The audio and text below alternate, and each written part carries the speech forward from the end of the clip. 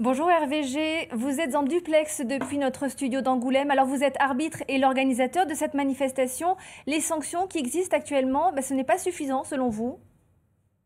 Oui, tout à fait, oui. On a la loi Lamour qui, qui doit nous, nous protéger au niveau juridique et qui n'est pas, qui n'est pas appliquée.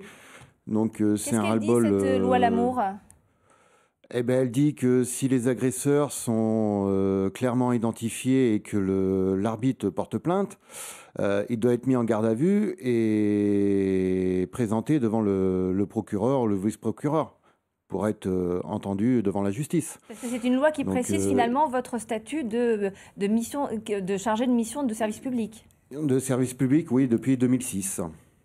Et donc aujourd'hui, c'est pas du tout appliqué ah ben euh, non, c'est pas du tout appliqué. Enfin, euh, moi, pour ma part, ça n'a pas été appliqué. Pour un autre collègue, ça n'a pas été appliqué. Et euh, voilà, donc et c'est toutes les insultes qu'on peut avoir sur les bords de terrain tous les week-ends. Donc vous-même, vous avez été... C'est un ras-le-bol général. Vous avez été agressé, vous, en 2013. Est-ce que depuis, vous, vous, avez peur d'arbitrer le week-end? Alors c'était en 2014. Et peur, oui, un petit peu dans le coin de la tête, mais je suis, euh, j'aime, j'aime ce que je fais, c'est une passion, donc euh, je continue.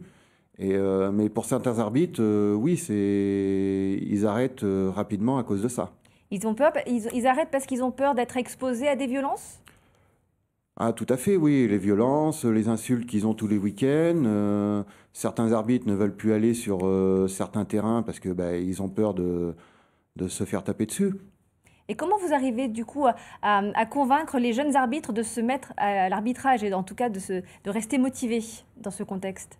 C'est pas évident, c'est pas évident. Nous en Charente, on les accompagne pendant un an, donc je pense que ça, ça fait du bien. Euh, ils se sentent euh, accompagnés et euh, pendant un an, donc je pense que ça, ça aide beaucoup Alors, à les garder. À noter aussi que vous n'êtes pas les seuls à vous mobiliser. En Corrèze aussi, les 9 et 10 décembre, il n'y aura pas euh, d'arbitrage pour cause de, de, violence. Donc on voit finalement que c'est un mouvement euh, national. Merci Hervé G euh, d'avoir répondu à notre invitation. Et je rappelle que votre manifestation aura lieu, elle, samedi à partir de 10h dans le centre-ville d'Angoulême.